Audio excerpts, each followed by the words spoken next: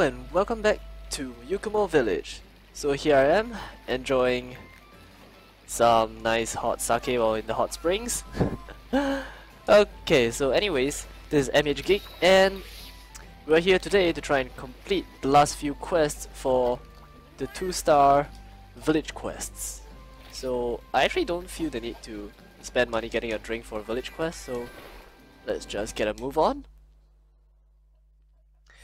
Alrighty, so right now we're gonna be taking on the, if I'm not wrong, the Arzuros, but oh, oh my, are you alright, Hunter? You don't look well. You end up you ended up running into another monster. Yes, that Jinoga. It's a very dangerous monster indeed, and it wouldn't go near villages in the past, but um, first an Arzuros causes trouble. Mm-hmm. Of course. Oh, so we are here not just because of the Arzuros, but because of the Jinoga. Naturally, I do not mean right now, take your time, but I have already taken down the Jinoga, so... I wouldn't want to do it again right now, but it's not impossible, just saying. So I need to be taking down... Oh wait, no, yes, I'm supposed to be taking down the Great Jaggi. Uh-huh. Yes, the Great Jaggi, this one. So the Great Jaggi isn't a very difficult monster to tackle. He's um quite predictable, you could say. And ooh, this is the first time that Rakuhara is going to the desert in single player mode at least. so yeah, going back to the topic on the Great Jaggi, um, he's actually one of the first few monsters that you actually face in the tutorial areas. Um, actually, I think he is the first monster. Uh, yeah, should be he isn't that hard to deal with. Um, just gonna grab all these freebies because why not? And you'll never get them again ever. As in, you, you may still get them in higher ranks, but not as often. Just gonna pop in the rations. Mm -hmm. So I'd like to paintball him um, later on, when I find him. Just to keep track of his location. And I'll need to use the cold drink as well, if he does um, if the fight does go in go to the locations 8, 9 or 10 yeah because those areas um in the day they're really really hot. So yeah. Well at the in night um or rather at night they become really cold. I mean it's because this is a this is a desert map. So -hmm. for those of you that know your geography or some basic um, uh, the deserts have really huge varying temperatures, um, as in differing from day and night, yeah. It can range over more than 40 degrees or even 60 degrees from some at some times. Uh, degrees as in degrees Celsius, not in Fahrenheit. I'm not sure how does the... Yeah, I've I've been educated in the the way of using degrees Celsius to measure my temperature. So uh huh, temper uh, degree Celsius it is. And I still have yet to find the Jaggi, the Great Jaggi. Where in the world are you? You don't usually go to areas 8, do you? Oh, bother. I really don't want to waste these cold drinks, but let's just pop in there first and see if he is really there or not. He isn't. Where could he be? This is awkward. He was not in uh wait let's check the did I get the right quest? Yes I did get the right quest. This is Hunt the Great Jaggi. He's not in four. He was not in one where we came from. Could he be in five? Hmm. Well well let's just take a quick look. Are you here? Oh, he is here. Because there's a cutscene. This looks like a den of some sorts. Very interesting. And oh, oh, oh, here he is. The Alpha of the Pact.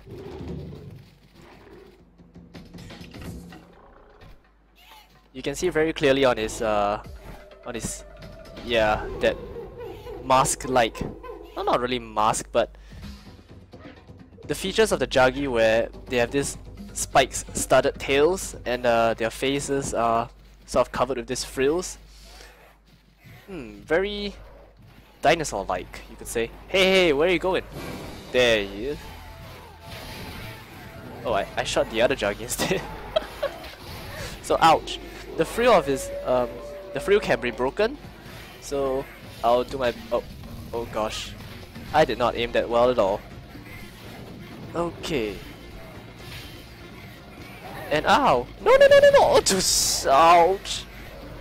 God damn it! That that little Jaggi sure messed things up for me. I oh gosh. But yeah, um, going back to the topic on his studded tail, uh, it's quite. It's not something you would really observe or notice because it's really so small. But if I wonder if someday, like, you know, Capcom will make it such that his tail can actually deal some sort of bleed damage in higher ranks or something. Because, well, what are those stats for anyways, if they're not to inflict more damage when he does his tail swipe. Yes, got him on the head. Oh, the body slam. Nice. Tra ouch, stop that, little one. Shooting him in the foot, hoping to trip him. Oh my gosh, that was close. Actually, not really. Okay. So hopefully this quest don't take too long, so I can complete more than one. Oh gosh. Compared to the last episode where ah, I had to... Ouch! Nope, nope. I had to, you know, take down the Jinoga. Because I was not going to give up on the chance to fight a Jinoga so early in game. And challenge myself way more than I needed to. Oh, ouch, nope, nope. Oh my gosh, the tail. He's really doing me in quite badly. But actually I would say mostly it is underlings that are causing me a lot of trouble and not really he himself. Excuses. Oh, oh wow, what what a miss. That was embarrassing. Did I think I broke his frills. Oh wow, I actually moved my cursor out of the way. oh my god. Oh, he's limping. Oh crap, I haven't paintballed him yet. Oh no, where's he going? No, don't. Ah, shucks. This, my friends, is a very bad example of how you should be hunting. so, um, my best guess is that he'll go somewhere where you can get meat, food, something like that. So, definitely not here. Uh, he could be at 4. Wh where am I going? Yeah, it should be this way. I'll just make a quick drop by to 2 before I hit to 3 and then 4 just to cover every single area in case he is there. Um, he's tired, he's probably going to get a rest, a nap. No, he sleeps at area 5 because that's his den. So he would probably be at area 4. Yeah, because that's the next best place you can escape to without heading back into the den immediately. Wait, did that just make sense there? No, I did not. But in any case, he, should be at area 4. You see? There he is. Looking out for me. Am I what you're seeking? Wh why would you jump back? Whatever, I'm just I'm just gonna rain arrows here so so I hit no one. No, no! Oh gosh, that Jaggia, why? Why? Why would you do that? Don't, don't you all know what personal our space is? oh my gosh, that... Stop, stop, stop. So, so many Jaggis. Nice. No, you're not getting away. Okay, he got away. Oh, shoot. The other Jaggi is just being so annoying. I remember that. Yeah, I saw this meme somewhere on like nine nine not nine gag but like Reddit or something. I can't remember. Basically, it's this it's showing this Jaggi, um, Jaggi head going like saying things like um that hunter just took down like one of the most powerful elder dragons in game. I can take him. yeah, that's exactly what I'm feeling about these Jaggis right now. What do you even know?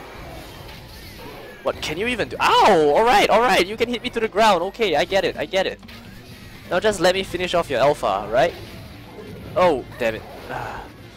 I'm being a little bit too cocky right here. Oh, okay. Okay. The cats are being completely MVPs here. I feel ashamed of myself now. oh well, so just gonna quickly carve him up. Jaggi hide.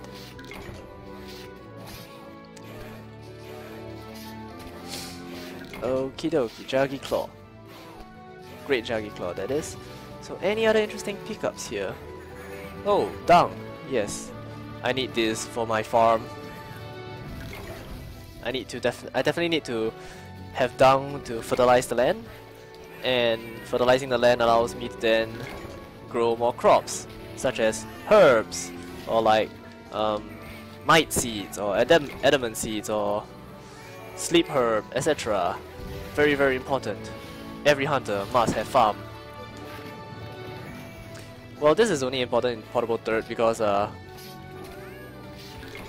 in 3U and 4U you don't have the farm system.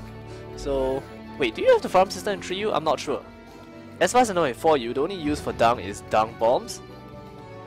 More often than not, and uh, you don't you don't have to fertilize the land like in Portable Dirt. So, yeah. Oh, one more. And yep, alrighty, so I'm just gonna go and start up the next quest and see you in a bit. Alright, and we are back. So basically um, there's another favor from the village chief and there's a Qurupeco causing trouble. So this would be the urgent quest for you to advance into for you to advance to the 3 star village quest. Yes. And I'm sorry if I'm sounding a little incoherent today because I've been spending quite a bit of time um, preparing Christmas stuff, like Christmas shopping, um, baking goodies and stuff, and uh, present wrapping, etc, etc, just running all over the place. It's been quite a day. So yes, the Qurupeco. If you have watched the previous videos, um, where I took on the Qurupeco together with Mido-chan, we brought dung bombs in order to you know, scare away the the friend that Qurupeco can call into battle, into battle to support it.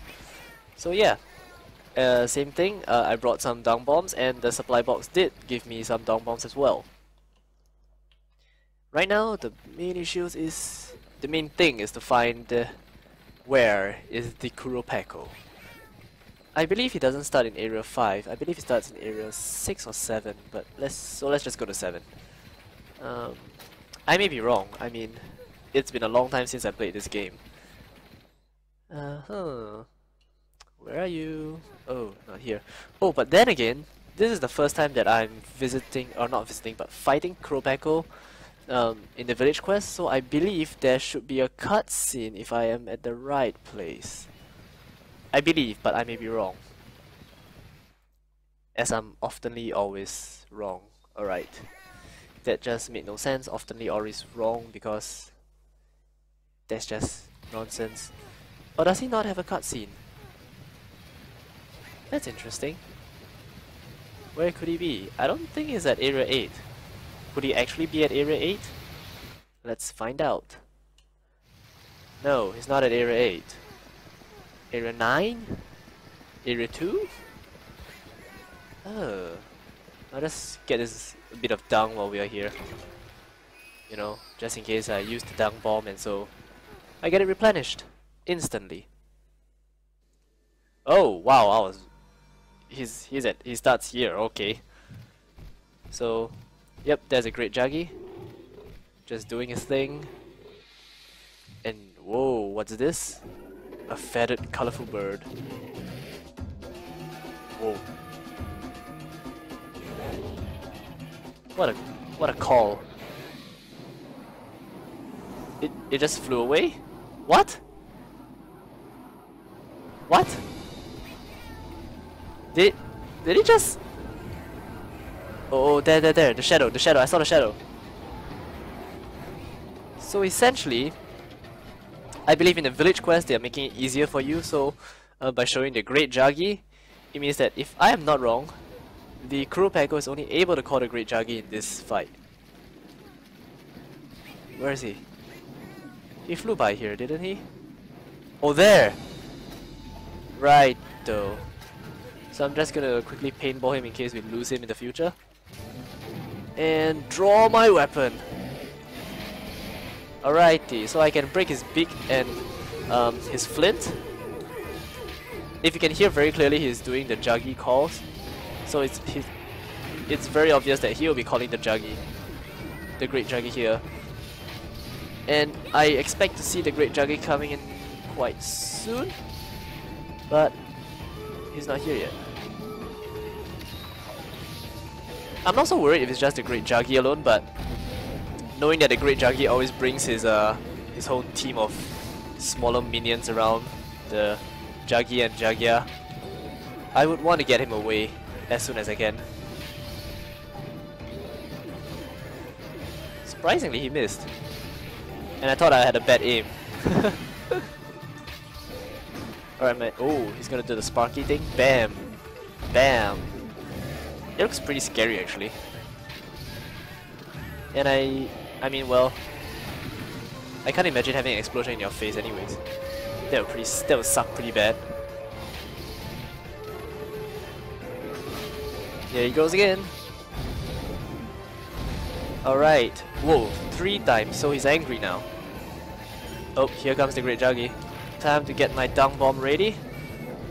And just toss it right in his... Oh, oh, wow! There we go, in his face. Okay, not exactly the face, but yeah, you get the point. Oh my gosh, is he actually flying away? Qurupeco? where are you doing? What are you doing? Where are you going? Alright, you're not flying. Oh my god, the Juggy. What are you still doing here? Get the hell away. Oh, that was close. Ah, I really don't want to shoot point blank with this rapid bow, but given that he's so close, I don't really have a choice. Oh my gosh, please stop, stop your singing and nonsense. Nice, I stopped it. That was lucky. Oh, the Great Juggy left. Woohoo! Something broke, I think, I'm not sure. Oh yes, definitely. His flint broke. The flint at the edges of his wings. Oh nope, nope, nope, not letting you peck me. Alright. Can't see with all this grass in my face! Oh, oh my gosh. I'm so bad. One of the worst things that can ever happen um, when fighting Qurupeco and Monster Portable 3rd is when Qurupeco actually summons like Deviljho. for those of you who know what Deviljho is, uh, good for you. For those of you who don't, someday you may actually get to see it. So, oh, there he goes, he's flying off.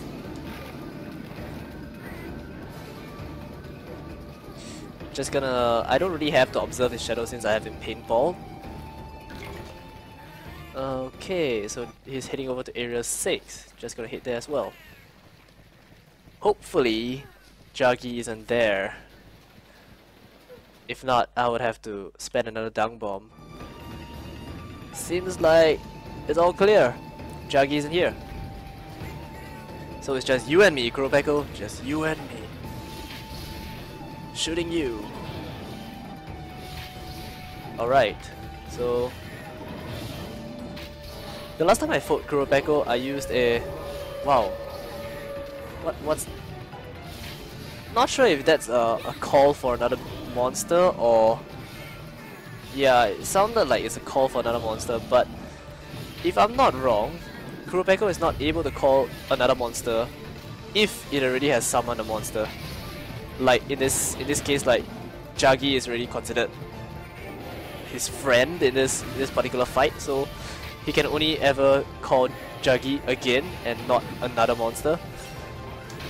Because that would be pretty sick. Like imagine if he called like freaking Juggy, Arzuros and like Deviljho and everything oh my god we'll be swimming in monsters oh gosh Juggy please go away no one wants you not right now at least so I got a dung bomb in. Oh my gosh, my tongue. My, my tongue? My tongue. I got a dung bomb on the Juggy and yep, so it's back to the one-on-one -on -one fight. Okay, he's enraged. And he's uh, prancing around like a chicken. Oh, flinched him right there. Hopefully I can break his beak. Oh, he's weak. He's limping. Uh, no, no. Wow, that that's that's quite a fast takeoff if you if you ask me. For such a big creature, he sure flies pretty fast, I guess. But okay, so anyways, he's going back to area 7 where he will try and fish. Um, or take a nap. As far as I can remember, he fishes uh, to regain stamina. And he does it in this map, so yeah. But I'm not sure where does he rest, I can't remember. It might be at the area in that location back in area 9 where we first saw him in the cutscene roaring at the juggies. Okay. Just trying to break his beak. Wow, he still can speed despite being exhausted. Interesting. He's just gonna keep falling flat. Just gonna rain some arrows on him. Oh! I think I broke his beak. Arrow rain for the win. Ah. He's calling for Juggy again, right? Is he? Or what's he doing? What are you doing? Oh. Damn, I thought he was gonna stay in the air longer. That what a fake. Alright, come on, quickly. Let's finish him off before he escapes. Oh no. Is the Juggy actually here again? Oh crap, I think he is. Never mind, we finished it. With an arrow up the tail feathers. Yep, the Great Juggy is actually back here again. what a nuisance. I can't even be bothered to fight the Great Juggy now. Not especially after we just, you know... Ah, oh crap, come on. Come on, let, let me carve the Qurupeco. So yeah, I did break his beak, as you can see right here. Uh, no, not right here, but right here, his beak is broken. His beak has a pretty unique shape. It's quite hollow towards the top, making it look like sort of a trumpet, so we can actually amplify the noises that he make into a very very loud echoey sound to call all the monsters from all around. It actually rhymes. Holy shikes. So yeah, just gonna get us some resources before I head back to Yukumo village. And that would be it for this episode. So this episode should be going out on the 24th, which is Christmas Eve. So waiting for the episode on 25th before I say the magical words. Uh, not not really magical, but you know, the festive words. Yeah, the festive words. So yeah. Oh, shite. Okay, so Qurupeco Monster Lord updated, Trickster, and yes, I would like to save. So thank you all for watching. Um, if you like what you see, do leave a comment, a like, or if you really really like, then obviously just subscribe. More videos will come, I hope. And I really hope that I can continue doing this for quite some time at least. So, once again, thank you all for watching. MH Geek, signing out.